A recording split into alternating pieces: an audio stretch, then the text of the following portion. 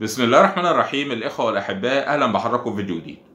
ال social media زيها زي أي حاجة في حياتنا فيها الصح وفيها الغلط. ممكن من خلال ال social media دي إن إحنا نفيد نفسنا ونفيد الآخرين أو نأذي نفسنا ونأذي الآخرين. بمعنى إيه؟ إن ما يقدم على ال social media مواقع التواصل الاجتماعي يعني والمنصات المختلفة هناك الصالح وهناك الطالح. الصالح هو كل ما يفيد البشرية كل ما يفيد الناس. من محتوى هام ومفيد وهادف وبيعلم الناس أمور كثيرة في حياتهم بيزود عندهم الجرعة الدينية الجرعة الثقافية الجرعة العلمية. الناس بتدخل زينا كلنا بندخل عشان بيكون عندنا مشاكل. ايا ما كان نوع هذه المشاكل بندخل بنلاقي فيه خبرات عند يعني أهل العلم في هذا التخصص بيفيدونا بعلمهم سواء كانت بقى مشكلة اجتماعية بندخل نلاقي ناس بتتكلم فيها وفي حلولها مشكلة صحية بنلاقي ناس بيتكلموا مشكلة بقى للتقنية والتكنولوجيا والكلام ده كله بنلاقي برضو ناس كتير جدا بتقدم محتوى مفيد وراقي وهام. إحنا بندخل بنلاقي حلول لهذه المشاكل عند هؤلاء الناس. دول ربنا يجازيهم كل خير. دول هم فعلا الناس المحترمين على مواقع التواصل الاجتماعي اللي بيفيدوا الآخرين عنده خبرة بيطلعها للآخرين ويستحق أي مقابل ممكن أن يحصل عليه من وراء مواقع التواصل الاجتماعي. لو كان في أرباح لو كان في الكلام ده كله بالعكس ده إحنا نتمنى له كل الخير لأن هو بيديني خبرة أو بيديني عصارة خبرته بيفيدني بالمحتوى الهادف الجميل الطيب اللي بيقدمه. بيقدم زي ما قلت معلومة بيقدم علم بيقدم معلومة دينية بيقدم بيفيدني بيفيدني. يعني أنا عندما أجلس أمام هؤلاء أو أشاهد هؤلاء الأشخاص بستفيد بستفيد. في إضافة بتحصل لي. بيتم إضافة أشياء ليا أشياء جميلة وأشياء رائعة. وزي ما قلت لحضراتكم ممكن يكون عندي مشكلة في أمر معين وألاقي حلها عند هؤلاء الأشخاص المحترمين. ففعلا دول هم النقطة المضيئة في ال social media الأشخاص المحترمين دول. دول هم اللي بيفيدوا الناس وبيفيدوا غيرهم. بيفيدوا الناس خيركم من تعلم العلم وعلمه بيفيدوا الناس بعلمهم وبيستفيدوا سواء بقى كانت استفادة مادية ولهم كامل الحق في هذا وبيستفيدوا أيضا من دعاء الناس ليهم إن ربنا يكرمهم ويزيدهم علم لأن هم أفادوا غيرهم بعلمهم. دي نقطة جميلة ونقطة مضيئة على ال social media والمنصات المختلفة زي اليوتيوب والكلام ده كله. يعني موجود موجودين هؤلاء الأشخاص وموجودين بكثرة بفضل الله تعالى ودول أشخاص مفيدين ونافعين للبشر ونافعين لنفسهم وللبشر. على الجانب الآخر بقى نروح للدارك اريا بقى أو الثقب الأسود أو المنطقة المظلمة يعني. وهم من يتسببون في الضرر للآخرين؟ وممكن يضروا نفسهم ولكن أنا بتكلم على الضرر الآخرين. لما إنسان يكون هيضر نفسه فهذا شأنه خلاص. ولكن أن يتعدى الضرر حدودك أنت شخصيا وتأذي بيه غيرك اللي ممكن يقلدك لأنه ضعيف العقل أو ضعيف الفهم أو ما عندوش خبرة في الحياة أو ايا مكان فيبقى في الحالة دي مش من حقك ويجب أن تحاسب. ودول برضك موجودين. اللي بيستنوا سنن سيئة في المجتمع واللي بيعلموا أشياء قبيحة للناس واللي بيطلعوا يتقولوا بألفاظ نابية واللي بيعملوا حاجات غريبة وحاجات خطر. ممكن غيرهم يقلدهم وخاصة من الأطفال وصغار السن اللي هم ما عندهمش استيعاب كافي للحياة والمخاطر اللي هم بيعملوها هؤلاء الأشخاص وتتسبب في كوارث محدقة بيهم وبأهلهم.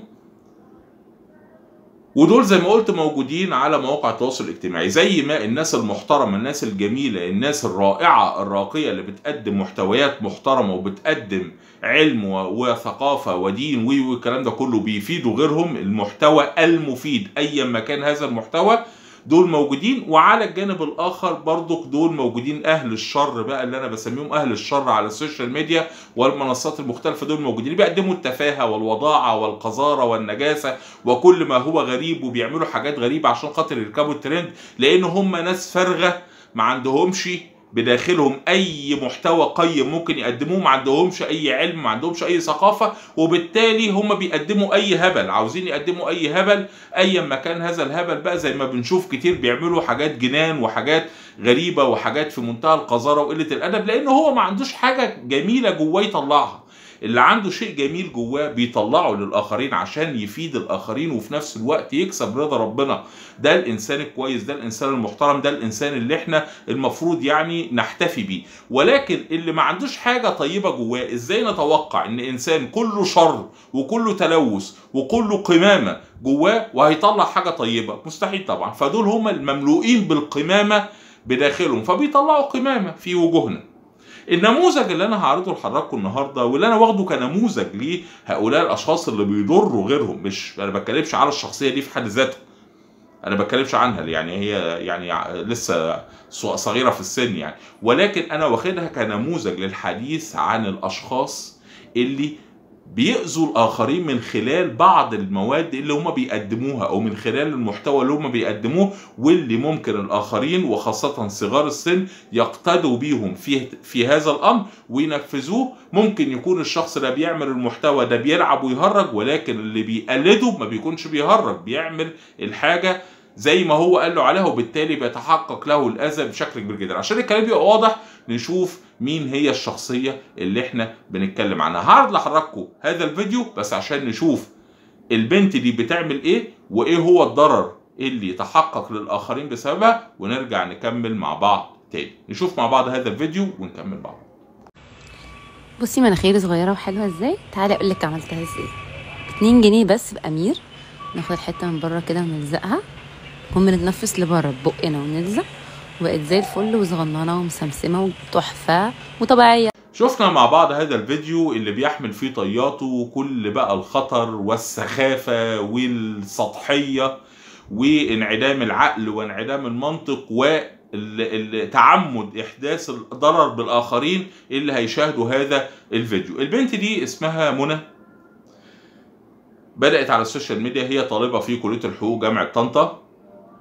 وبدأت على ال social media طبعا لأن هي ما عندهاش حاجة تقدمها زي ما أنا قلت. لو هي عندها علم أو ثقافة هتطلع تدي للناس عشان حتى ربنا يكرمها عشان حط يعني ربنا سبحانه وتعالى يوفقها في مساعيها. ويعني بتكون بتقدم حاجة طيبة للناس يعني يعني تكون في ميزان حسناتها. ولكن نظرا لأن هي إنسانة فارغة من الداخل ما عندهاش أي حاجة تقدمها للآخرين فقررت إنها تطلع تعمل الهبل ده على منصة التيك توك. طبعا الأمر ده يعني بغض النظر إنه سخيف وخطير وتافه ويعني وحدثوا ولا حرج قولوا فيه كيفما شئتم يعني. ولكن الخطر بتاع هذا الموضوع مش قاصر بس على اللي هي بتعمله في نفسها هي عايز تأذي نفسها يعني هذا شأنها يعني تتحمل مسؤولية نفسها ولكن خطر ده تعداها إلى الآخرين. في ناس قلدوها بالفعل في أحد الأطباء طلع وقال إن في بنت قلدتها وحصلت عندها مشاكل جامدة جدا. ده فيديو مشهور أحد الأطباء إنها قلدتها وحطت هذه المادة الكاوية الحارقة اللاصقة في مناخيرها وتسبب لها في مشاكل جامدة جدا أو مشاكل رهيبة. طيب إيه قصة بقى البنت دي؟ البنت دي زي ما قلت نظرا لأن هي يعني عندها قدر من التفاهه ما عندهاش أي علم ما عندهاش أي ثقافة ما عندهاش أي حاجة عشان تقدمها للآخرين وبالتالي هتقدم لنا إيه؟ هتقدم لنا التفاهه اللي ما عندوش حاجة طيبة يقدمها هيطلع يقدم لنا مع احترامي ليكم القمامة اللي جواه. بس التفاهة بقى والسطحية وقلة الأدب والقذارة وكل الكلام ده كله. فطلعت بدأت إن هي تعمل فيديوهات. الفيديوهات بتاعتها دي انتشرت إن هي إزاي يعني طبعا من السخافة يعني اللي هي تصغر بقها ومناخيرها والكلام الفارغ ده عن طريق استخدام مادة الأمير اللاصقة. مادة الأمير إحنا كلنا عارفينها وبنستخدمها من زمن الزمن يعني وعارفين إن هي مادة في منتهى الخطورة وعارفين قوة اللصق بتاعتها عاملة إزاي. إحنا بنلزق بيها الحديد بنلزق بيها بعض المعادن في بعضها. فكون إنها تطلع وتعمل حاجة زي كده هي كده بتعرض حياة الآخرين للخطر. مش مهم حياتها هي حياة الآخرين اللي ممكن يقلدوها والمفروض إن هي تقع تحت طائرة القانون تحت طائرة لأن في أحد الأشخاص كان تعرض لها وقالت له إن أنا هقاضيك وهرفع عليك دعوة ومش عارف إيه. ده المفروض أنت اللي يتم رفع دعوة قضائية عليك مش الشخص اللي بيواجهك. أنت اللي يتم رفع دعوة قضائية نظرا لما تقدميه للناس من محتوى خطر معرض إن في يعني غيرك وخاصة من صغار السن اللي هم لا يدركوا يعني يقلدوا الكلام الفارغ الفاضي القذارة اللي انت بتعمليها دي ويتسبب لهم في مشاكل أو أضرار كبيرة جدا ليهم ولأهلهم. فطبعا هي بدأت إنها تستخدم الحاجة دي وبتحط الأمير علشان تصغر زي ما حضراتكم شفتوا كده والفيديو ده على فكرة واحد من فيديوهات عديدة. هي عملت الموضوع ده كتير. إزاي تصغري شفايفك إزاي تكبري شفايفك إزاي تعملي آه، طبع الحسن في خدك كلام فارغ من كل ده بالأمير. يعني تخيلوا إن مادة كاويه وحارقة لا يمكن أن تستخدم المادة دي لما بنكون بنلزق بيها حاجة لو نقطة بس جت على صباع الإنسان بتبقى كارثة ما بنعرفش نشيلها فبالكوا دي بتحطها في أماكن حساسة زي المناخير والفم والكلام ده كله. وزي ما قلت لحضراتكم إن في حالة قلدتها وحصلت لها مشاكل صحية جامدة جدا ربنا يعني يعافيها ولكن طبعا هي قلدتها طبعا نظرا لانها شايفة إن دي بتعمل كده وإن هي طبيعية وجميلة وبتضحك بعد ما لزقت مناخيرها بالأمير. معرفش إيه تصغير وتكبير اللي هيبقى بالأمير ده. يعني حاجة ورا العقل يا جماعة والله الناس اتجننت والله والله الناس اتجننت. يعني عشان أقدم محتوى. أنا ما عنديش حاجة أقدمها يعني معلش مع كامل احترام لحضراتكم اتنيل أقعد ما أقدمش حاجة. لو ما عنديش حاجة أقدمها لو ما عنديش علم ما عنديش ثقافة ما عنديش دين ما عنديش أخلاق ما عنديش حتى كلمة طيبة أطلع أقولها للناس عشان أفيد بيها الناس اتنيل وأقعد ما أقدمش حاجة. مش كل واحد عنده كاميرا وعنده والموضوع ببلاش خلاص يدخل بقى يعني يعني يلقوا بقى أو يحطوا علينا البلاوي الزرقاء بتاعتهم دي. يعني ويلقوا علينا بالقمامة اللي جواهم يعني مش ممكن. الموضوع فعلا زاد عن حده. النهارده بنشوف كوارث على ال social media وعلى تيك توك وعلى الحاجات دي كلها. بنشوف بلاوي. بنشوف ناس يعني وصلوا لأقصى درجة من درجات الجنان في تصرفاتهم حرفيا. الناس اتجننت من أجل الحصول على المال السهل والسريع. اتجننوا. بقى يعملوا حاجات ورا العقل حاجات لا يمكن لحد إنه يتخيلها. يعني تخيلوا حضراتكم مثلا بنت زي دي. هل حد كان يتوقع إن في فكرة ممكن زي دي تيجي في دماغ إنسان؟ مستحيل مستحيل بحال من الأحوال. فالأخت دي عملت هذا الكلام. وسابت بقى عادي هي عملت كده والمفروض إن هي ما بتطلعش ما بتتكلمش ما بتقولش هي بتقول بس عايزين نصغر عاوزين نكبر عاوزين نعمل. لما تم طبعا نظرا لأن الفيديوهات انتشرت وفي مخاطر تحققت من وراء هذه الفيديوهات الأستاذ سيد علي عمل معاها مد... اتصل بيها وصلوا لها يعني بشكل أو بآخر وبتاع. فهو طبعا عرفته تعالي أنت إيه اللي أنت بتعمليه ده ومش عارف إيه. قالت لا والله ده أنا ده أنا بقدم الحاجة دي على سبيل الضحك وعلى سبيل الكوميديا. ضحك وكوميديا. ضحك وكوميديا اللي أنت بتستخدمي مواد حارقة ومواد كيميائية تحطيها على الجلد وتقولي بضحك وبهزر. هي قالت كده قالت أنا بضحك وبهزر ما كنتش متوقعه كل واحد يعمل مصيبة. يقول لك أنا كنت بضحك وبهزر وما كنتش متوقع إن ال- الفيديوهات بتاعتي هتنتشر وبتاع. أمال سيادتك أنت طالع علينا ليه طيب؟ يعني ما تضحك وتهزر مع نفسك. يعني سيادتك اضحكي وهزري مع نفسك. أنت خارجه علينا ليه بالهبل اللي أنت بتعمليه ده؟ يعني بالعبط بالقذارة اللي أنت بتعمليها دي أنت خارجه عليها ليه؟ ما دام أنت بتهزري هزري مع نفسك. يعني ليه بتنشري ليه ليه حطاها على التطبيق وعلى العام والكل يشوفها. ليه يعني؟ أنا أنا ذنبي إيه؟ أتفرج عليك ولا على سحنتك ولا على اللي بتعمليه. أنا مش فاهم يعني إيه قيمه اللي أنت بتعمليه؟ ملوش قيمة. طلعت قالت إن أنا بهرج وبهزر ومش عارف إيه والكلام ده كله. طبعا الدكتور هاني الناظر كان على الجانب الآخر. طبعا قال لها اللي انت بتعمليه ده في منتهى الخطورة وهيتسبب لأضرار كبيرة جدا للناس في حال تقليدهم ليكي. وزي ما أنا قلت لحضراتكم في أحد الأطباء قال إن في حالة صعبة جدا وصلت حاولت برضو تصغر المناخير والكلام ده كله. طبعا هي كان مبررة بتقول إيه؟ هي ما أنكرتش إنها أنا افتكرت الموضوع فيه بتقول أنا بهرج يبقى الموضوع فيه خدعة. قالت لا ده أنا بستخدم أرضى أنواع الأمير. يعني هي بتستخدم أمير فعلا. المادة اللاصقة دي اللي هي المادة المعروفة عندنا كلنا دي. يعني هي بتستخدمه بالفعل. بتقول لكن بستخدم أرضى أنواع الأمير. يعني أنا يعني بيلزق بمجرد بس الفيديو ما يخلص آه، اللزق ده بيفك ومش عارف إيه والكلام ده كله. يعني أنا آه، بقيت مذهول. بقيت مذهول. يعني عشان الرغبة في الشهرة أو تحقيق مكاسب مادية أعمل كده في نفسي. واخلي الناس اللي هم طبعا ضعاف العقل أو صغار السن اللي هم لا يفقهوا أي شيء في أي شيء يقلدوني وتسبب في خطر ليهم وضرر ليهم ولأهاليهم أعمل كده عشان خاطر أحقق شهرة أو عشان خاطر أنا إنسان تافه. ماليش لازمة في الحياة. إنسان زيها كده إنسانة تافهة ملهاش لازمة في الحياة. ومفيش حاجة عندها طيبة تقدمها للناس. تقومي تطلعي تهبلي قدام الكاميرا كده عشان عاوزة تتشهري وعشان تطلعي على التيك توك أو تطلعي على أي منصة. ما بقولش ان إحنا ما نقدمش محتوى ترفيهي يا جماعة لكن نقدم محتوى ترفيهي ممتع. ما ده ده محتوى خطر. ده محتوى خطر لأن وارد زي ما أنا قلت إن أي حد يقلده. ضعاف العقول المه... المجانين كتير في المجتمع. الناس المعتوهة كتير جدا في المجتمع. الأطفال الصغيرين بقى اللي هم لا مجانين ولا معتيه ولكن بحكم سنهم صغيرين فما عندهمش قدرة على الاستيعاب ودايما بيقلدوا. الطفل الصغير هو مقلد بطبعه فلما يتفرج عليها والتيك توك طبعا ده أصلا تطبيق أغلب اللي عليه أطفال صغيرين أغلب اللي عليه أطفال صغيرين. لما حد طفل صغير ولا طفلة صغيرة تقلدك وتروح في داهية وأهلها يروحوا معاها في داهية. يبقى سيادتك بقى كسبنا إيه من وراكي بقى؟ كسبنا إيه من وراك عشان خاطر أنت إنسانة تافهة ما عندكيش حاجة ما عندكيش حاجة مفيدة تقدميها فطالعه تلقي علينا بالقمامة الداخلية بتاعتك زي ما كتير بيلقوا بالقمامة الداخلية بتاعتهم علينا. كل واحد تافه كل واحد ما عندوش حاجة يقدمها كل واحد هايف يطلع يعمل أي هبل وجنان قدام الكاميرا عشان خاطر يحقق مكاسب أو عشان خاطر يحقق شهرة. إيه القرف اللي إحنا بقينا فيه ده؟ إيه القرف اللي إحنا بقينا فيه ده؟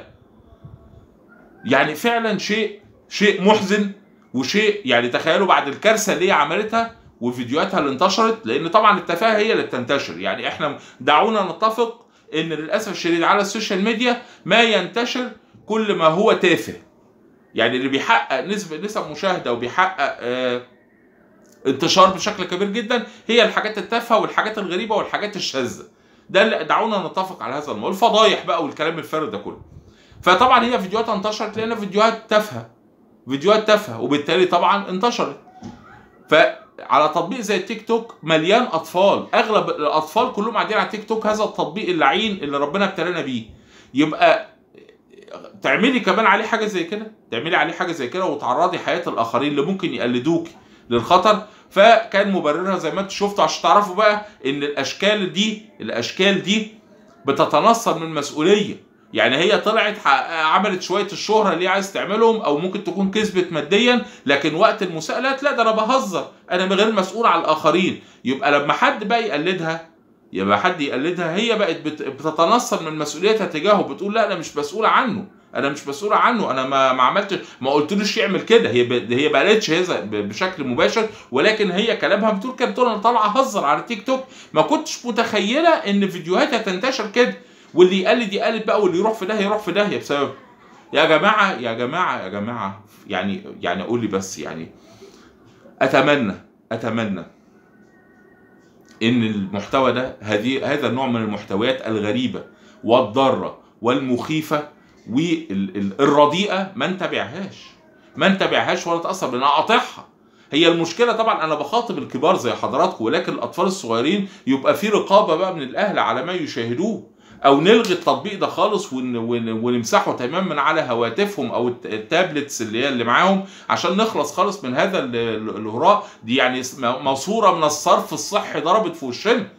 إحنا بنشوف على هذا التطبيق وغيره يعني بس على هذا التطبيق دي بلاوي زرقاء بلاوي زرقاء بمعنى الكلمة. كل واحد ملوش شغلانة كل واحدة ملهاش شغلانة وقاعدين فاضيين وقدامهم كاميرا ومعاه موبايل يقوم حاطط الكاميرا قدامه ويقوم يعمل أي عبط قدامها وخلاص وعاوز ينتشر وعاوز يحقق فلوس. لدرجة إن في عائلات كاملة سايقة في العبط عائلات كاملة سايقة في العبط. يحطوا كاميرا ويقعدوا يترقصوا زي القبائل البدائية يقعدوا يعملوا حاجات غريبة يقعدوا ياكلوا قدام الكاميرات. كلام فارغ وقلة أدب وانحطاط وسفالة. ما بعدها سفالة. واحدة زي دي هي بتتنصل من المسؤولية. لو حد بقى قلدها وعمل كارثة زي دي وأصاب نفسه بضرر أو بأذى ها فهي هي تبقى مسؤولة عنه هي تقول لك أنا مش مسؤوله ده أنا كنت بهزر أنا كنت بهزر ما قلتش لحد يعمل كده. فادي هي النوعيات اللي أنتم المفروض تتفرجوا عليها. المفروض النوعيات دي كل ما هو رديء يجب مقاطعته يا جماعة. إذا كنا عاوزين نطلع لقدام إذا كنا عاوزين نطهر روحنا ونطهر نفوسنا كل ما هو رديء يجب مقاطعته. ولكن للأسف الحاجات دي بتنتشر. هي إيه اللي خلى واحدة تطلع تعمل العبط اللي هي بتعمله ده؟ لأن هي شايفة إن المحتوى الرديء هو اللي بينتشر. وإن السفالة والوضاعة والنجاسة هي. مع الاحترام الحراكه في الألفاظ دي هي اللي بتنتشر وهي اللي بتجيب مشاهدات وهي اللي بتحقق انتشار. وبالتالي دخلت وقالت يلا أزيد في الزيطة معاهم بقى اشمعنى أنا؟ اشمعنى أنا؟ أعمل أي هبل؟ اشمعنى أنا؟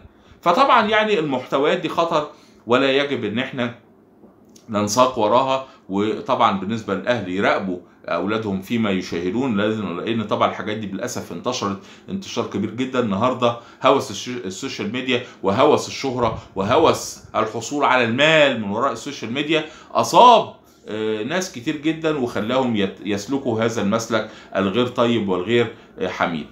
آه، نسأل الله لنا جميعا العفو والعافية و آه، أتمنى أتمنى نفسي نفسي يعني يعني أشوف اللحظة دي إن المحتوى الراقي ايا ما كان هذا هذا المحتوى ايا ما كان يعني الإنسان اللي بيقدم علم بيقدم ثقافة بيقدم دين بيقدم أخلاق بيقدم بيقدم أي حاجة هتفيدني هقعد قدام هذا المحتوى هستفيد هستفيد هحس إن في حاجة أنا كان في حاجة ناقصاني كده وأضيفت ليا.